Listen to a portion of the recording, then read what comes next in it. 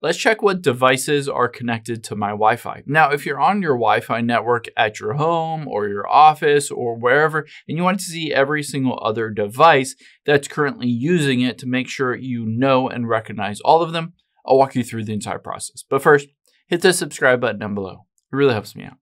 Thanks, guys. Now, the first and the easiest way is to find the app associated with your modem or your whatever you're using to get your internet. So you can open up the App Store or Google Play Store, and for instance, say you're getting your internet and it's through Spectrum or something like that, but you have a modem and a router through TP-Link. Then you can just type in TP-Link here and get the TP-Link tether, or you can basically download any app that's associated with your internet. For my instance, it's Smart Home Monitor because I have AT&T.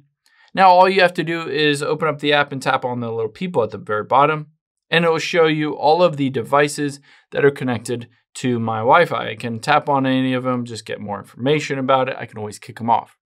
However, if you don't necessarily know which app can connect to your router, you can do this basically going through the back way.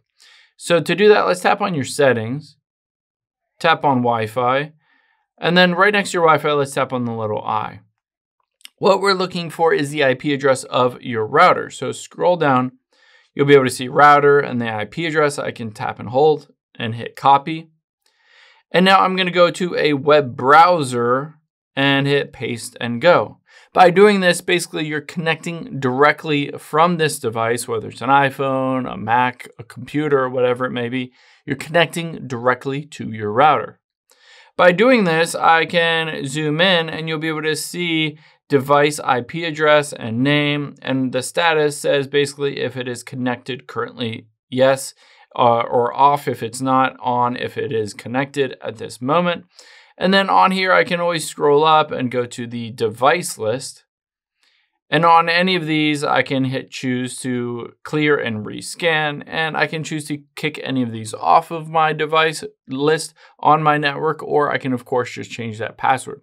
Now keep in mind again, I have AT&T internet, so depending on which carrier you have and which basically router and modem that you have, it will look a bit different. So it might be a different user interface, but this essentially will get you to the point where you'll be able to see all of those devices.